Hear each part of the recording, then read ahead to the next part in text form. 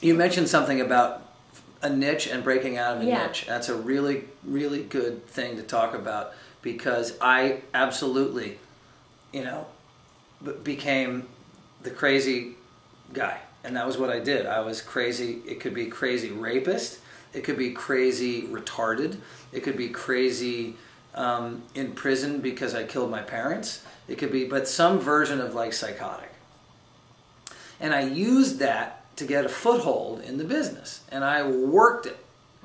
And I worked it to the point where I had to stop because it was it was I was getting really pigeonholed.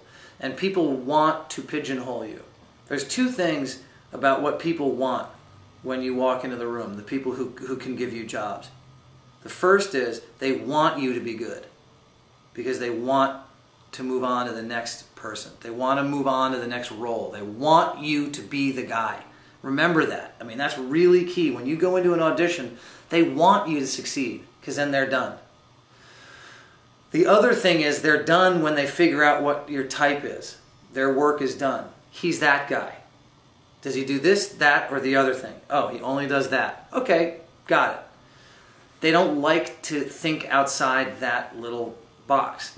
So I had to stop going in for those roles. And it was a, there was a dry spell for like a year it felt like. Like this year was very slow for me.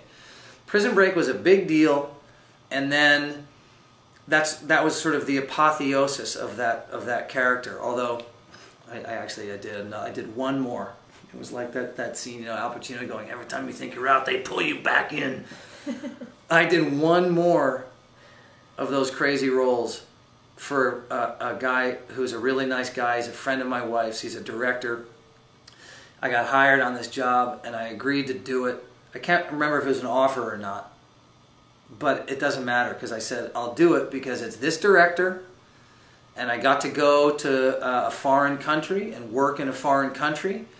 And um, even though the character had sort of um, uh, uh, had had a psychotic break because he had stopped taking his meds, I still thought the character was really interesting because the conflict the character had was real. It was like I, I'm either going to be an artist and uh, not take my drugs, or be a good uncle on drugs and not be able to do my work because I've been nulled out. It's a it's a cool it was a cool part, and I thought it would just kind of get buried, and there was a goddamn review of this show in the New Yorker.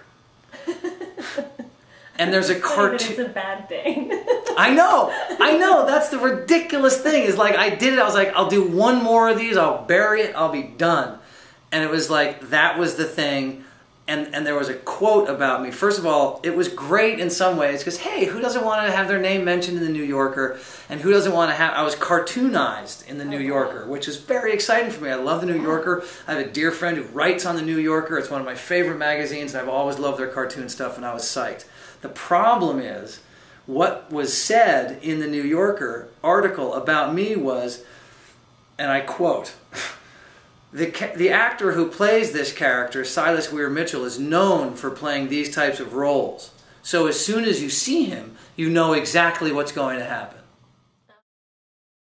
Yes, it's like it, it's he's that guy is what it was saying to me.